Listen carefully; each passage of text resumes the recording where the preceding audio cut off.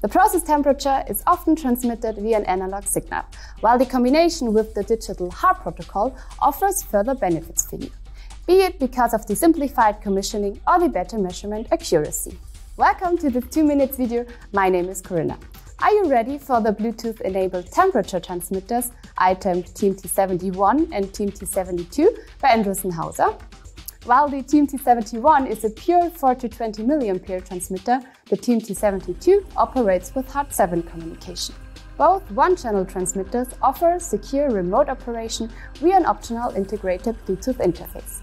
Using the Endress+Hauser Smart Blue app helps you to save time and effort on commissioning, configuration and maintenance. In addition to that, the strong and corrosion-free push-in terminals, which can be operated without any tools, make commissioning and maintenance really easy and convenient. Their electronics offer unsurpassed reliability, accuracy and long-term stability, while diagnostic information according to NAMUR NE107 and sensor and device monitoring, like corrosion detection of the sensor wires, ensure highest plant uptime in processes across all industries. Thanks to our relevant international approvals, the transmitters can be safely and reliably operated in hazardous areas. The iTemp TMT71 and TMT72 are available as head transmitter, as Steenway version or in a field housing for remote installation.